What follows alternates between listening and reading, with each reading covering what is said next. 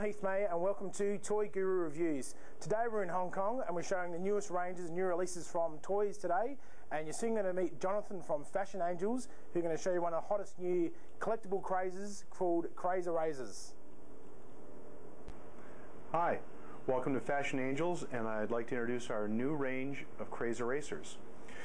CrazErasers is a range that we launched uh, mid 2009, and in six months we've delivered approximately six million cards of these collectible puzzle erasers.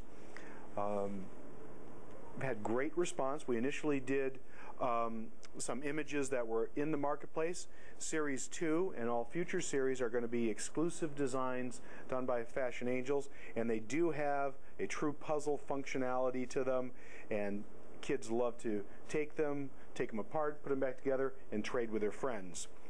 Besides having them pre-carded, as this, we will also be presenting them in a collectible case of two sizes. And CrazErasers has been phenomenally successful every place we've shipped them in this first six months. Thank you.